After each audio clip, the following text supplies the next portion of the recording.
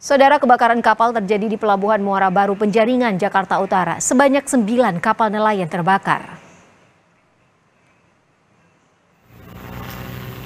Kebakaran terjadi pada Selasa dini hari tadi saat kapal bersandar di dermaga barat Pelabuhan Nizam Zahman, Muara Baru, Jakarta Utara.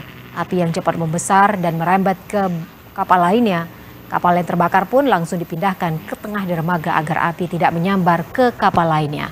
Mengetahui peristiwa ini, para nelayan berusaha memindahkan kapalnya agar tidak terkena api dari kapal yang terbakar.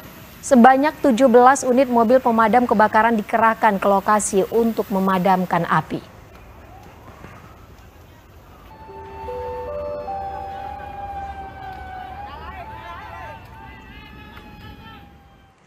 Saudara kebakaran yang melanda sembilan kapal nelayan yang bersandar di dermaga barat pelabuhan Nizam Zahman Muara Baru Jakarta Utara diduga berasal dari kerusakan mesin di salah satu kapal yang menimbulkan percikan api dan akhirnya merambat ke kapal lainnya.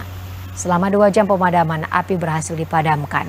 Bangkai kapal yang terbakar langsung ditarik dan disandarkan ke dermaga untuk dilakukan pendinginan. Informasinya 8, 9 eh, kapal terdiri dari uh, eh, 8 kapal besar dan satu kapal kecil. Uh, tadi kita dapat informasi penyebabnya yaitu ada kerusakan mesin di kapal pertama yaitu KM Hokindo.